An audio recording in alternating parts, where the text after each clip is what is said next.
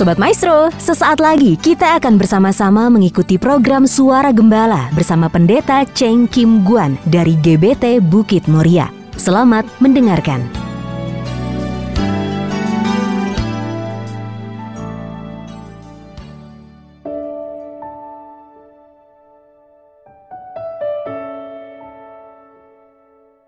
Shalom, Ibu Bapak terkasih di dalam Tuhan di mana pun berada. Kembali melalui program Suara Gembala, saya Pendeta Cheng Kim Guan menjumpai Ibu Bapak Saudara sekalian dan mengajak kita masuk di dalam perenungan firman Tuhan bersama. Yang akan kita awali terlebih dahulu dengan doa. Mari kita masuk di dalam doa. Kembali kami menghadap hadiratmu ya Bapa. Anugerahmu yang begitu berlimpah dengan kasih dan rahmat. Begitu nyata dalam kehidupan kami. Sehingga jika kami ada sebagaimana kami ada pada kesempatan kali ini. Dengan kekuatan, dengan kesehatan, dengan pengharapan, dengan sukacita, dengan penuh syukur. Kami mau mempersiapkan diri dan hati kami untuk kembali bersekutu dengan kebenaran firman-Mu. Tuhan mengurapi memberkati kami semua, agar firman-Mu yang adalah kebenaran, yang merupakan makanan rohani, yang menumbuhkan iman pengharapan kami, yang menuntun jalan kehidupan kami menuju jalan Tuhan. Biar kami dapat mencerna kebenaran firman-Mu ini dengan pimpinan dan hikmat daripada kuasa roh kudus. Terlebih Tuhan mau sucikan, kuduskan hambamu, layakkan hambamu, perkenan hambamu, lengkapi hambamu dengan hikmat yang daripada Tuhan. Sehingga penyampaian kebenaran firmanmu menjadi sederhana dan mudah untuk ditangkap dan dimengerti oleh kami semua. Terima kasih untuk berkat kasih karuniamu ya Bapa. Berbicaralah bagi kami semua sebab kami rindu akan kebenaran firman-Mu. Dalam nama Tuhan Yesus Kristus, hamba panjatkan dan peralaskan segala doa ini. Haleluya. Amin. Puji Tuhan. Ibu Bapak Saudara terkasih, pada kesempatan kali ini saya akan memberikan menyampaikan kebenaran firman Tuhan yang berjudul hamba dosa. Di dalam perenungan ini kita akan sama-sama merenungkan siapakah hamba dosa itu. Lalu apakah buah dari menghambakan diri terhadap dosa? Adakah solusi untuk keluar dari perhambaan dosa ini? Nah, inilah hal-hal penting yang akan kita sama-sama renungkan. Puji syukur kepada Tuhan. Di dalam Roma 3 ayat yang ke-23 dikatakan demikian. Karena semua orang telah berbuat dosa dan telah kehilangan kemuliaan Allah. Ayat ini menerangkan, Rasul Paulus menerangkan bahwa semua orang telah berbuat dosa dan telah kehilangan kemuliaan Allah. Rasul Paulus mengatakan bahwa semua orang telah berbuat dosa. Itu menandakan bahwa semua orang itu adalah hamba dosa. Sejak dosa masuk ke dalam dunia, maka kita yang lahir di dalam dunia ini orang-orang berdosa. Dan dikatakan di dalam ayat ini, ayat ini dan telah kehilangan kemuliaan Allah. Allah mencipta manusia mulia. Manusia dicipta Allah sesuai dengan gambar dan rupa Allah yang penuh dengan kemuliaan. Namun akibat pelanggaran, akibat dosa, kemuliaan itu menjadi hilang. Jadi di dalam ayat ini Rasul Paulus menerangkan bahwa semua manusia sudah berbuat dosa. Statusnya adalah hamba dosa. Bukan Allah mencipta manusia berdosa, tetapi Allah membuat manusia itu serupa dan rupa dan gambar Allah dan penuh kemuliaan. Namun akibat dosa, akibat ketidaktaatan akan aturan-aturan yang Allah berikan, manusia jatuh dalam dosa. Jadi siapakah hamba dosa? Semua manusia adalah hamba dosa. Hamba dosa adalah satu kehidupan yang diperhamba, yang dikuasai oleh dosa. Sehingga kehidupannya hanya diperbudak oleh dosa, melakukan tindakan-tindakan dosa. Di dalam Roma 6 ayat yang ke-20 berbunyi demikian. Sebab waktu kamu hamba dosa, kamu bebas dari kebenaran. Hamba dosa, kamu bebas dari kebenaran. Sebagai hamba dosa, kamu terlepas dari kebenaran, di luar kebenaran, dan sama sekali tidak ada kebenaran. Itulah status sebagai hamba dosa. Jadi kalau demikian, memang hamba dosa itu memiliki kebebasan. Sesuka-sukanya, semau-maunya, tetapi sebetulnya kebebasan yang semu. Kebebasan yang dikuasai oleh dosa. Hamba dosa taat kepada dosa. Hamba dosa menyerahkan diri kepada tekanan-tekanan dosa hamba dosa diperalat oleh dosa untuk melakukan berbagai-bagai kejahatan, berbagai-bagai nafsu. Dan akhirnya upahnya yaitu maut. Di dalam Roma 6 ayat yang ke-23 sebab upah dosa ialah maut. Upah dosa itu kebinasaan kekal. Tetapi karunia Allah ialah hidup yang kekal dalam Kristus Yesus Tuhan kita. Di dalam Roma 6 ayat yang ke-23, di sana dikatakan upah dosa adalah maut.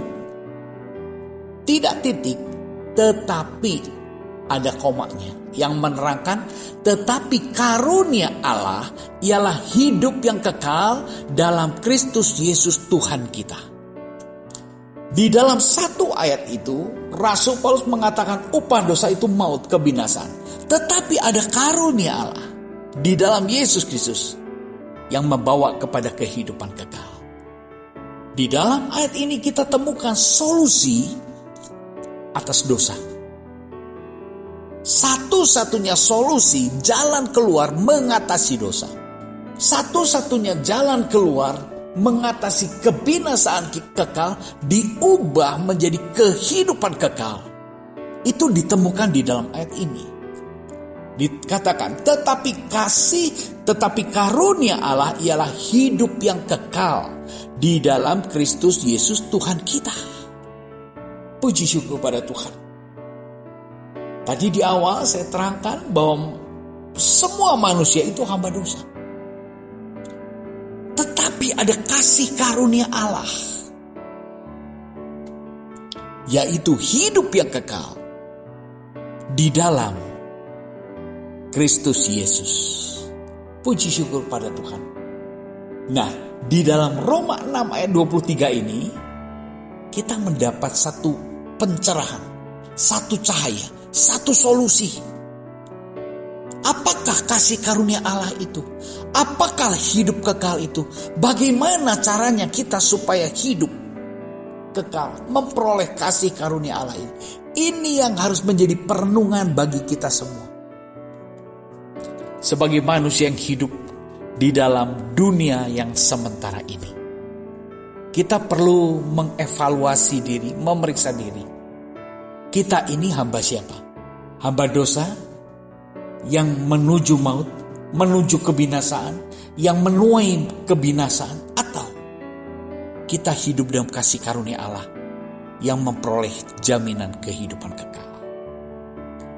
Ini yang menjadi perenungan bagi kita semua.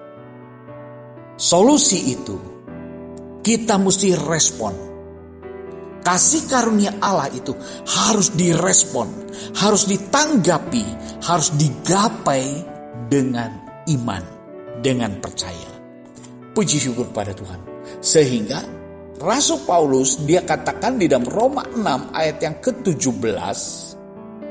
Tetapi syukurlah kepada Allah Dahulu memang kamu hamba dosa. Tetapi sekarang kamu dengan segenap hati telah mentaati pengajaran yang diteruskan kepadamu. Kamu telah dimerdekakan dari dosa dan menjadi hamba kebenaran. Puji syukur kepada Tuhan. Ini anugerah, ini kasih karunia. Rasul Paulus mengatakan mengucap syukurlah kepada Allah.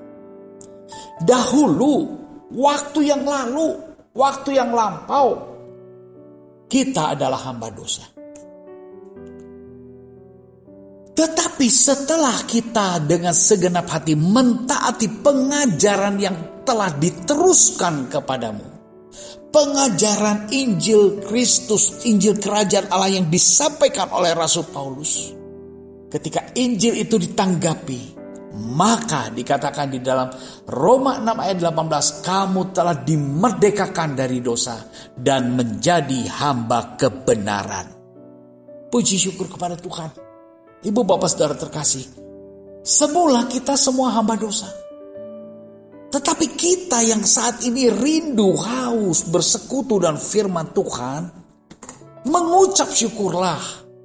Ada kasih karunia Allah yang begitu besar yang membebaskan kita dari hamba dosa, status kita menjadi hamba dosa, diubah, dibebaskan dari perhambaan dosa karena penebusan, maka kita dialihkan menjadi hamba kebenaran.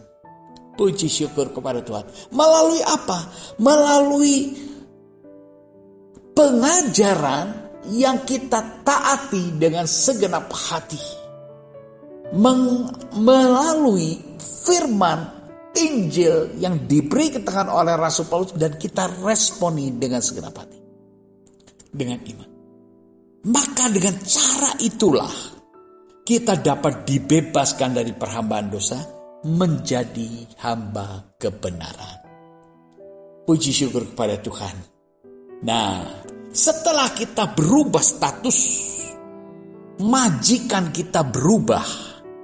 Tadinya kita hamba dosa, menghambakan kepada dosa. Sekarang ini kita ini yang merespon kasih karunia Allah menjadi hamba kebenaran.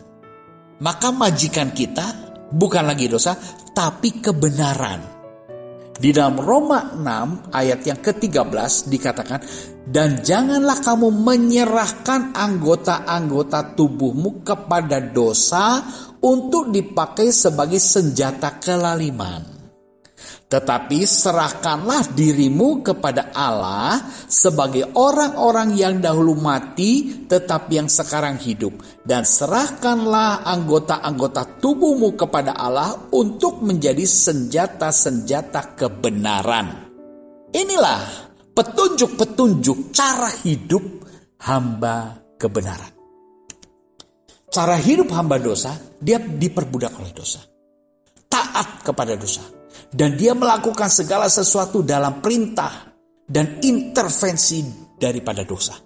Sebagai hamba kebenaran, jangan lagi kita menyerahkan anggota tubuh kita, hidup kita sebagai hamba dosa, tapi serahkan hidup kita sebagai hamba kebenaran, pelaku-pelaku kebenaran. Puji syukur kepada Tuhan. Ya, hari sebab itu Ibu Bapak Saudara terkasih, ini adalah satu anugerah. Saya katakan, jika kita saat ini rindu memiliki hati untuk bersekutu dengan firman-Nya, itu kerinduan, itu dorongan. Mengapa bisa terjadi demikian? Karena kita sudah dibebaskan dari dosa dan kita ini sekarang didaulat menjadi hamba kebenaran. Puji syukur kepada Tuhan. Jadi gaya hidup kita, cara hidup kita berbeda. Pola pikir kita berbeda. Keinginan-keinginan kita berbeda. Nah, sebagai hamba kebenaran, bagaimana sih? Ciri-ciri hidup sebagai hamba kebenaran. Ciri-ciri hidup sebagai orang Kristen, pengikut Kristus Orang-orang yang sudah ditebus oleh kasih karunia Allah di dalam pengorbanan Yesus Kristus. Ciri-ciri hidupnya bagaimana? Kita harus berbeda. Jangan sama kita seperti orang-orang dunia yang adalah hamba-hamba dosa.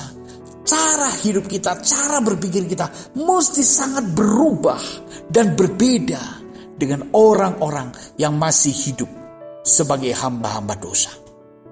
Ini ciri-ciri hidupnya bagaimana? Nah, kita akan lihat di dalam Roma 8 ayat yang ke-13. Sebab jika kamu hidup menurut daging, kamu akan mati, kamu akan binasa.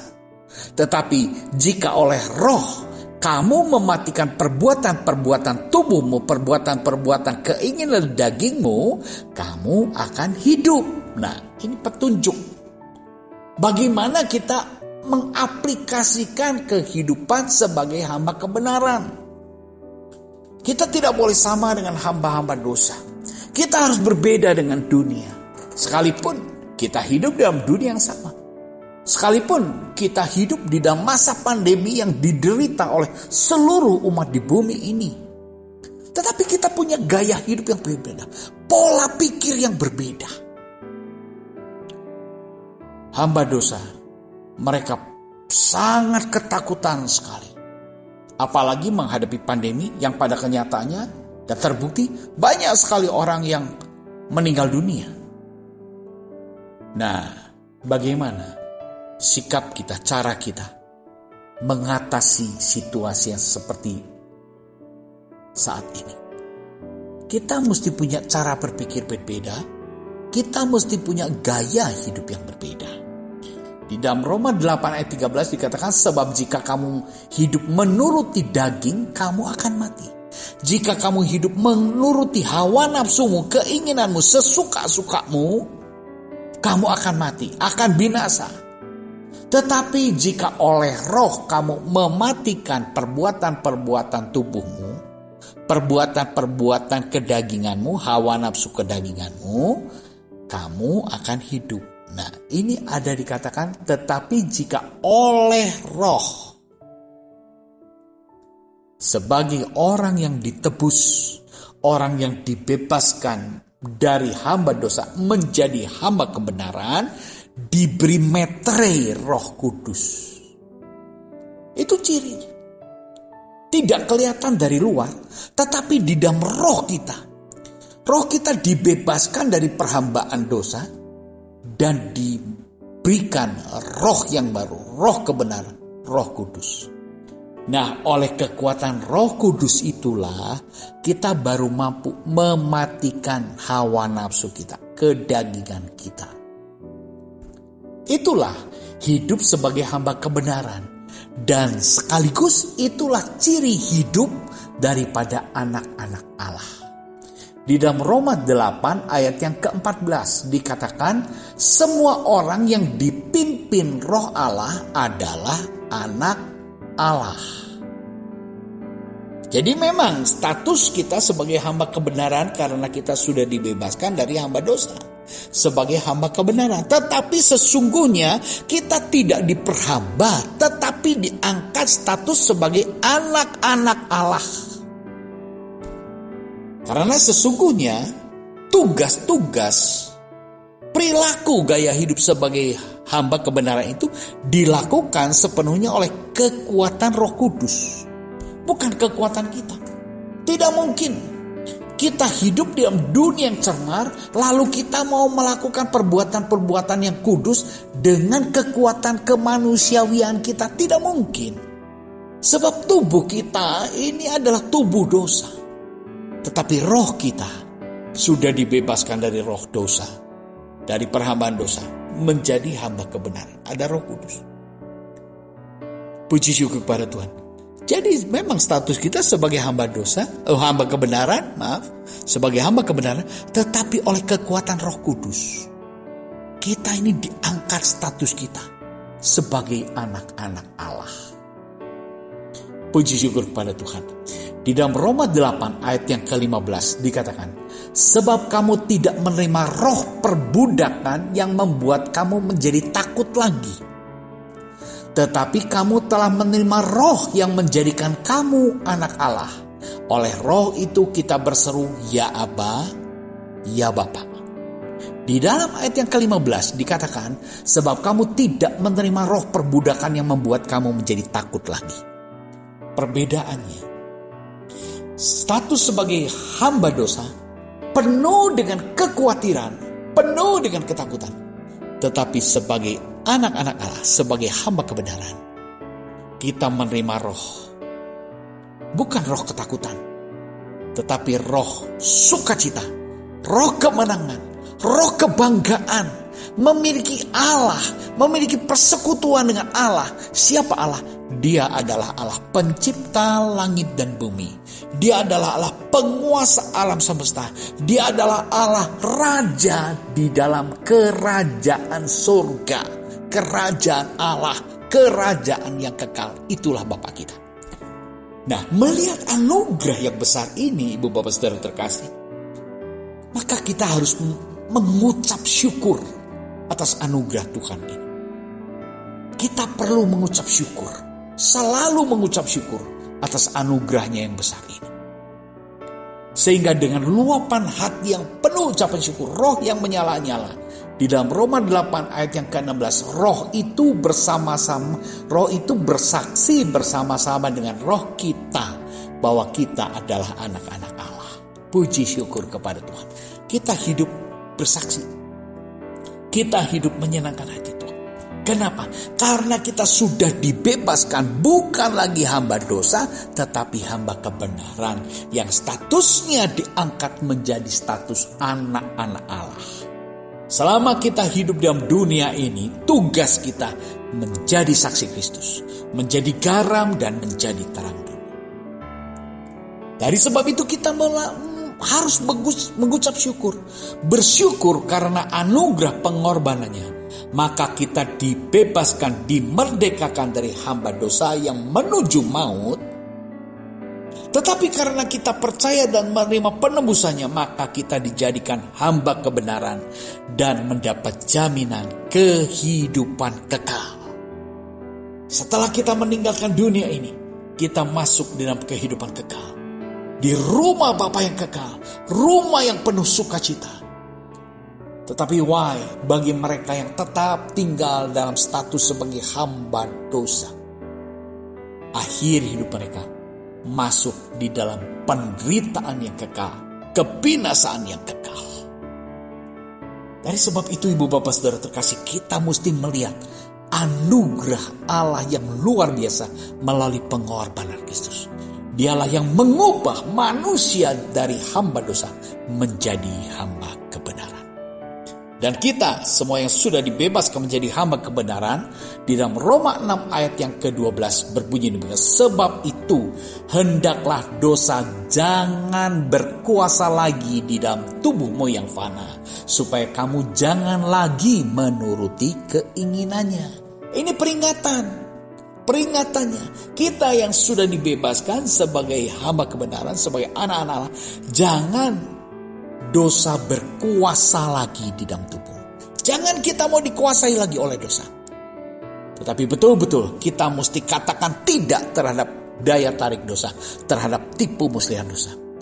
Tetapi kita mau makin hari makin taat di dalam tuntunan Kudus, hidup dalam kebenaran, yang sudah Tuhan beri dan anugerahkan bagi kita semua. Puji syukur kepada Tuhan, tentu ini merupakan pilihan. Adakah kita mau tetap sebagai hamba dosa atau hamba kebenaran?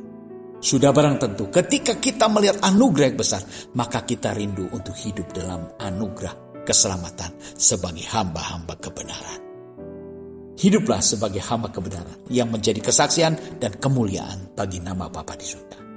Tuhan Yesus memberkati. Mari kita berdoa.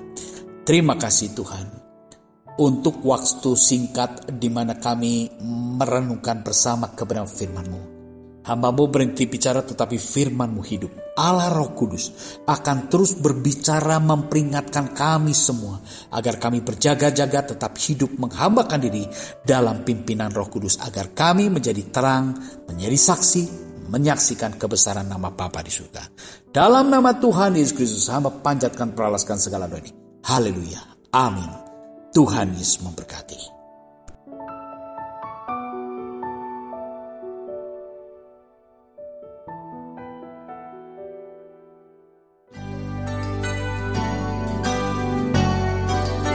Sobat Maestro, Anda baru saja mendengarkan program Suara Gembala bersama Pendeta Cheng Kim Guan dari GBT Bukit Moria. Dengan tempat ibadah Jalan Bojong Raya Komplek Permata Indah, Blok J nomor 24 Bandung.